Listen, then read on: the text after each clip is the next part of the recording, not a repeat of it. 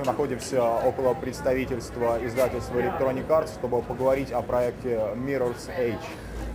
А, Добрый день, меня зовут Алекс, и я представляю русский журнал «Страна игр».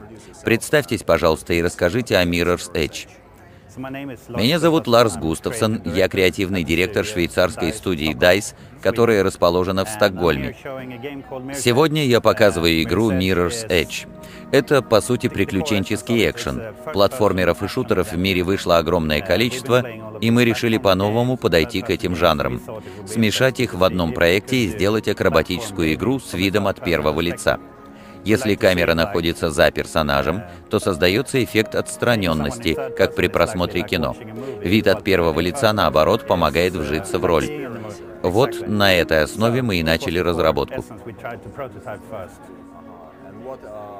Что послужило вдохновением при создании игры и ее героини?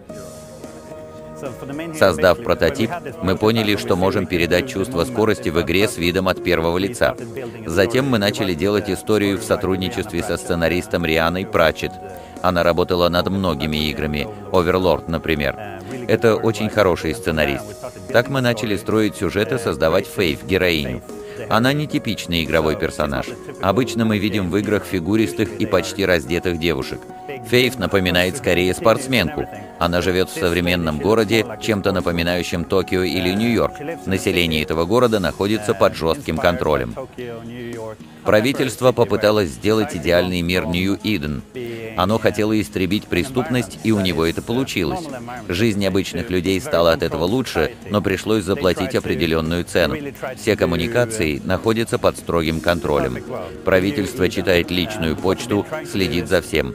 Новости можно получить только после того, как их одобрит правительство. Фейв не нравится такое общество, и она живет на его задворках вместе с другими изгоями. Их нанимают, чтобы передавать секретную информацию. Фейв – один из курьеров.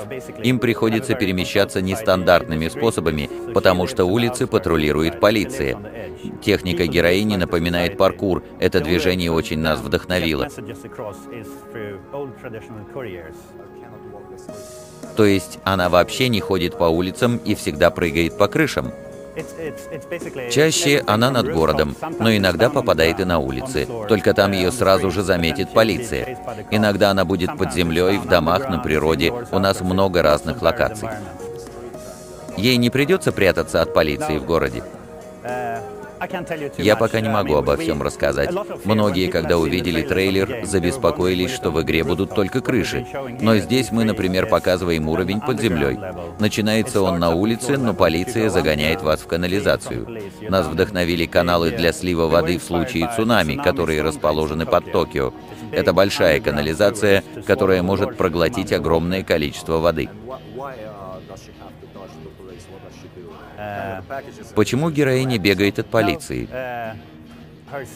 Сестру Фейв обвиняют в преступлении, и наша героиня отправляется на помощь. Полиция, соответственно, пытается ее поймать. Ваш уникальный стиль как-то связан с сюжетом? Почему все такое белое? От художников мы хотели несколько вещей. Во-первых, мы хотели, чтобы стиль игры узнавался в каждом скриншоте. Чистая, стильная картинка. Во-вторых, мы видим мир глазами Фейв, а ей город не нравится. Ей кажется, что правительство пускает пыль в глаза населению. Снаружи все красиво, но сердцевина прогнила. Вот почему город выглядит таким стерильным. Героиня получит по мере прохождения какие-то новые способности – что она вообще может делать? Игра держится на трех китах. Первый — пазлы, они основаны на акробатике. Вы уже видели пример с вентиляцией. Второй — погони, вам постоянно нужно уходить от врагов. И третий — бои. Можете либо сражаться, либо убегать. Убегать сложней, но можно пройти всю игру, никого не застрелив. Но она умеет использовать оружие, верно? Да. Она хорошо владеет боевыми искусствами. Мы работали с экспертом по боевым искусствам Кристалом Агнером и попытались показать, как женщина может обезоружить или отключить врага. Мы пытаемся сделать все реалистичным. В бою вы можете использовать обычные удары, но раз у всех противников оружие, к ним требуется особый подход. Когда хищник нападает на большую стаю, ему нужно отделить жертву от масс. Так же и тут. Выберите одного полицейского, отберите его оружие. Патроны можно использовать только те, что остались в стволе. Кончаются патроны, приходится бросать пушку. Также с оружием вы замедляетесь. То есть с оружием нельзя прыгать по домам? Да, именно так. Это своеобразный обмен. Можете выбрать одно, можете другое. Все зависит только от вас. Также, раз игрок смотрит на мир глазами Фейв, ему доступно зрение бегуна. Если бы я, например, посмотрел на гору, то ничего бы особенного на ней не заметил. Если профессиональный альпинист посмотрит на ту же гору, он сразу поймет, за что нужно ухватиться.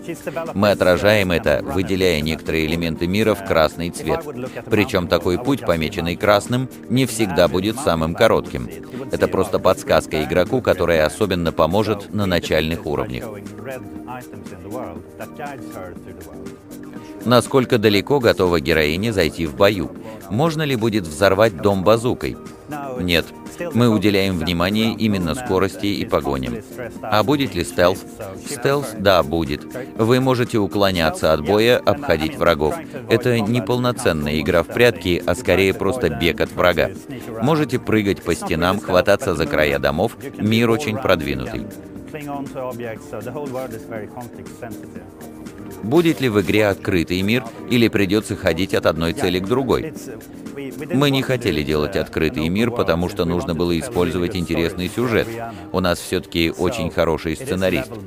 Так что все строится по уровням, но внутри уровня будет достаточно свободы. Можно выбирать разные пути.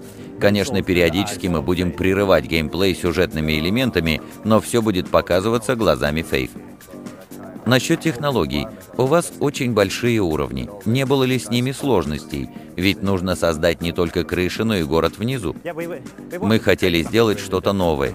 Действие разворачивается в современном метрополисе, поэтому без небоскребов не обойтись.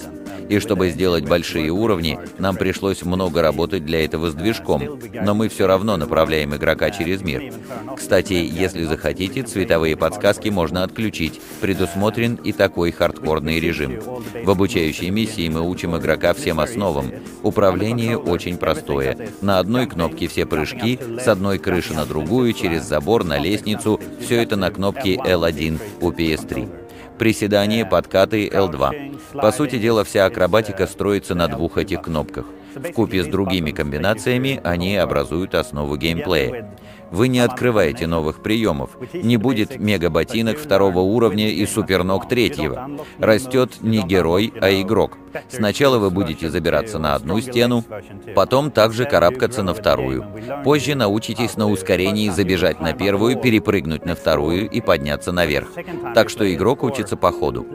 После первого прохождения вы сможете по-новому взглянуть на начальные уровни, прямо как в настоящем паркуре. Спортсмен смотрит на мир и думает, как его можно использовать. Мы хотим, чтобы игрок делал то же самое. Ну, в паркуре зато врагов с пистолетами нет. А будут ли боссы или какие-то специальные задачи? Ну, об этом я много сказать не могу. Даже здесь мы показываем много разных врагов, и по мере прохождения игры будут, конечно, появляться новые.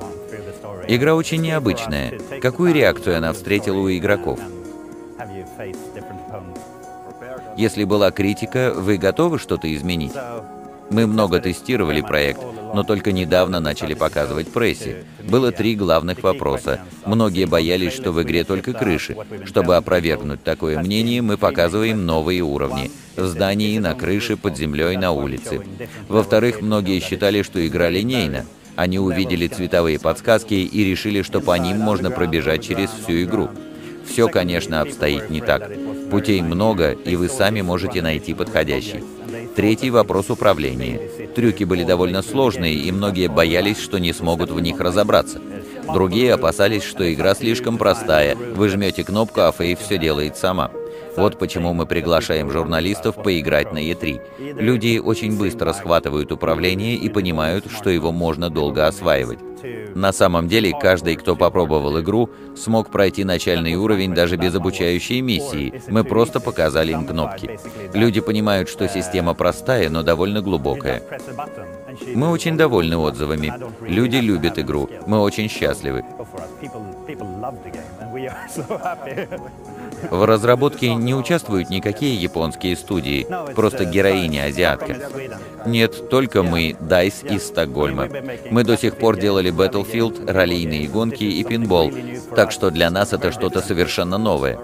Графически игра напоминает Ridge Racer, где был очень чистый и стерильный мир. Это европейская разработка. У нас очень талантливая команда. Арт-директор и концепт-художники отлично передали не только движение героини, но и сюжет. Героиня, звуки, отличный саундтрек – все сделано по высшему разряду. Если вы не заметили, я горжусь.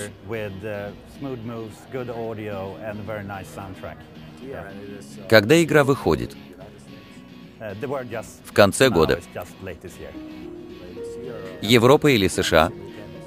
Пока мы просто целимся на конец года, хотим сделать одновременный запуск на всех консолях. Большое спасибо.